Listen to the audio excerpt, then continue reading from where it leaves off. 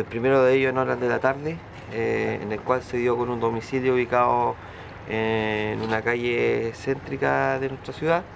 en cuyo interior eh, se detuvo un sujeto mayor de edad que sin antecedentes policiales, eh, que mantenía en proceso de crecimiento siete plantas de cannabis,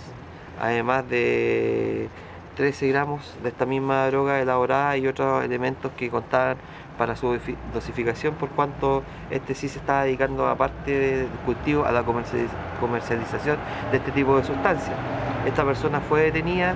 y también puesta a disposición del Tribunal de Garantía por infracción al artículo octavo y cuarto de la ley 20.000. Es así también que en otro procedimiento, en horas de la madrugada de hoy, al interior de la población Río Viejo, se haya determinado un domicilio que también se está dedicando a la comercialización de drogas en el sector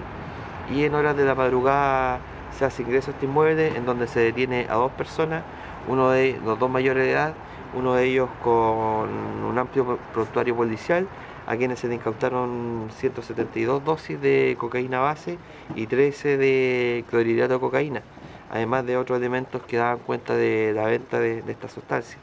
Ambos detenidos también serán puestos a disposición hoy del Tribunal de Garantía bajo los ser infractores del artículo cuarto de la ley 20.000.